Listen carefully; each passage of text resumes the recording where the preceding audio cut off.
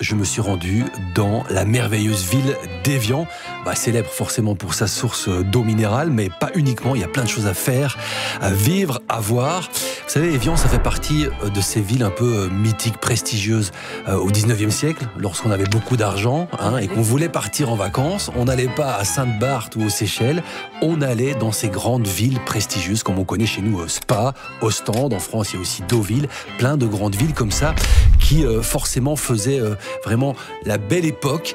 Et ben, c'est l'époque où on découvrait les bienfaits des cures thermales. Et donc on avait la noblesse, la bourgeoisie, les artistes, des rois, des empereurs, des écrivains, toute cette belle société qui se rendait euh, là-bas. Et donc forcément, ça veut dire que dans ces villes, il y avait beaucoup d'argent. Et donc on avait une architecture qui était vraiment flamboyante et notamment d'énormes bâtiments art nouveau.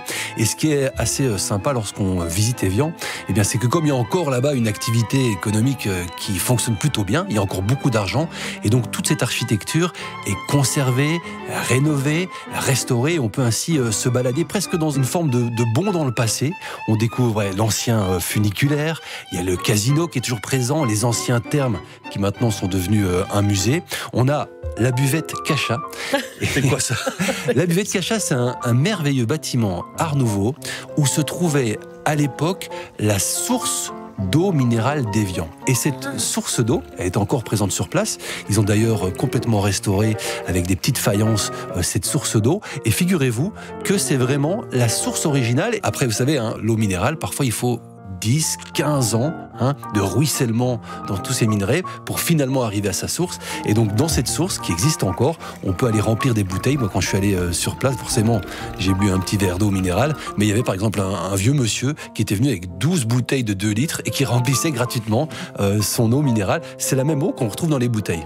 mais c'est gratuit là du coup. Ah oui, complètement gratuit, hein. c'est pour ça qu'il y allait. on a visité la ville donc euh, d'Evian, mais est-ce qu'il y a des, hum, des activités qu'on peut faire sur place ou euh, dans les alentours Alors oui, parce que c'est une ville d'eau, et donc forcément, euh, au bord de ce lac Léman, il y a énormément d'activités euh, nautiques à faire. Il y a un grand centre d'activités nautiques sur le lac, avec aussi une énorme piscine, donc on peut se baigner soit dans cette grande piscine, soit dans le lac, et en fait on retrouve à peu près toutes les activités qu'on retrouve de manière ordinaire dans, mais par exemple au bord des plages. On peut faire du beach volley, on peut faire du paddle, on peut faire toutes sortes d'activités nautiques, et moi, alors j'ai testé une activité qui m'a vraiment bouleversé. Je ne sais pas si vous avez déjà essayé de vous initier à l'apnée. Très peu. Euh, non. Non, mais on dans du snorkeling, par exemple, des choses comme ça. Un petit peu. Eh bien, effectivement, on peut le faire dans, dans le snorkeling, mais l'apnée, c'est une véritable euh, discipline sportive.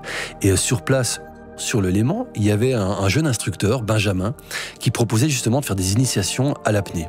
Et moi, ça m'a vraiment bouleversé parce que c'est une activité sportive, mais tout à fait différente de ce qu'on peut faire comme sport habituellement. Dans le sport, on est toujours dans la force, dans la, résistance, on essaie d'aller au bout de ses limites.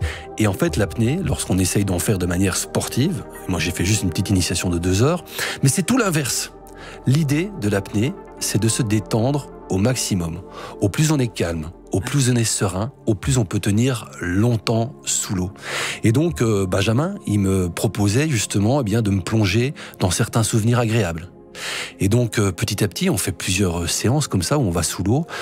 eh bien, j'étais plongé dans des souvenirs et bizarrement, tout à coup, j'avais des images, des flashs de mon enfance auquel je n'avais euh, jamais pensé, mais qui me procurait une forme de satisfaction et de, de, revoir tous ces moments vraiment un peu magiques de l'enfance avec mes, mes sœurs, avec ma maman, des balades, des choses tout à fait enfouies, eh bien, on arrivait à, se détendre complètement. J'ai tenu plus de 3 minutes. Alors les premières séances, on fait 40 secondes, 50 secondes, et au plus on parvient à se détendre, eh bien au plus on parvient à tenir.